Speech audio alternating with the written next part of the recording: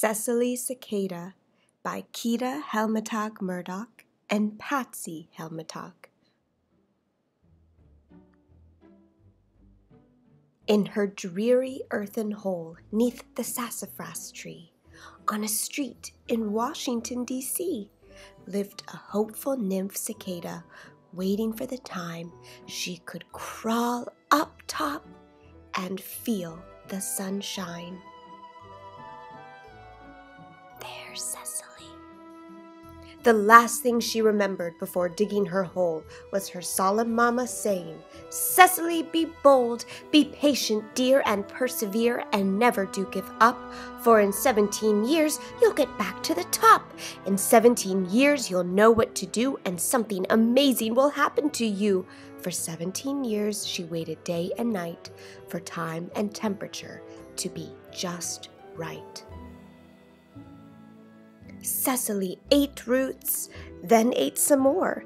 But eating roots was such a bore, so she was stalwart and passed the time, doing 17 things that don't fit this rhyme.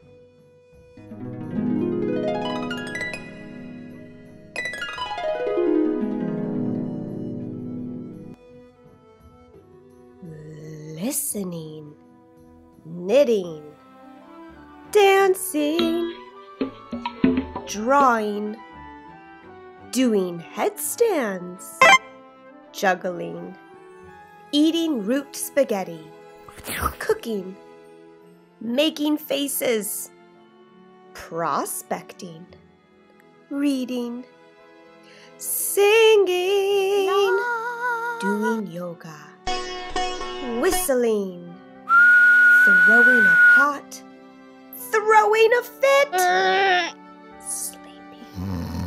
For while she waited that far off day, she had to be clever and learn to play and entertain herself till the soil felt right. At 64 degrees, she could crawl up to the light. Once, when thinking of things to do, a friendly worm came passing through. He asked, uh, Why are you waiting down in this hole? She said, That is something I cannot control. In fact, I wish I could go up with you, but I must wait. My waiting's not through. In 17 years will come the day when I can go outside and play. One morning in May, she awoke with a start. this was the moment she knew in her heart. Somehow she knew she must get to the top. She began digging and digging and did not stop. Her head popped out in the dim moonlight, but her climbing continued that starry night. After so many years, she felt so free, she climbed up the bark of the sassafras tree. When she got near the top, she suddenly froze. She felt stiff from her nose to her toes. She couldn't move. She was stuck in one spot. She tried to crawl and found she could not. She wiggled and wriggled with all her might, but no matter what, her feet held tight. She thought, I have to get out of here. Her body trembled with outright fear. She began to shake. She couldn't stop shaking when all of a sudden she heard something breaking. She heard a rip and then a crack and felt the night air on her back. She tried moving her feet and found they would, then took a step and found she could. But why had she been stuck in one place? She looked up and saw the dried brown case. Her new self was pale with wings that were green. Her skin was translucent with a beautiful sheen. When the sun came up on the beings who sleep in, Cecily's color began to deepen.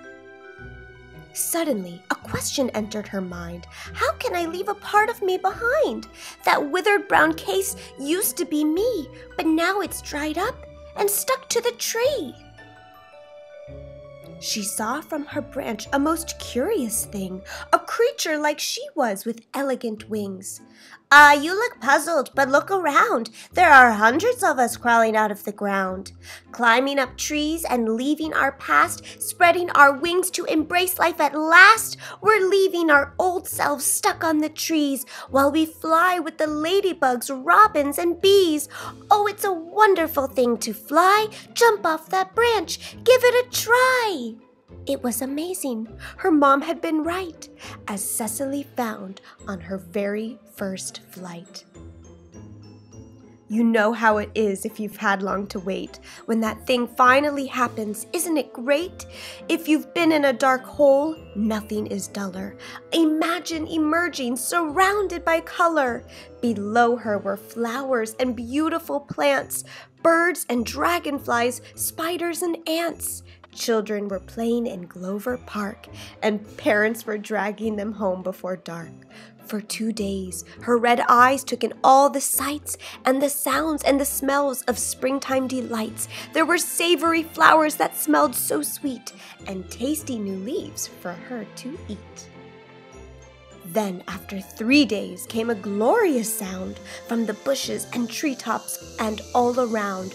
From male cicadas, both high and low, a chorus of voices began to grow.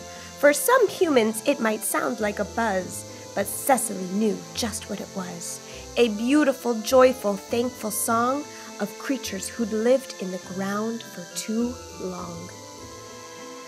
Then she heard the sweetest voice, one that made her heart rejoice. Cecily looked up, and to her surprise, was another cicada with stars in his eyes.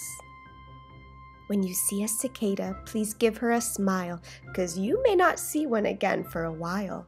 Just look at the grown up who's reading to you. When the cicadas come back, you'll be grown up too.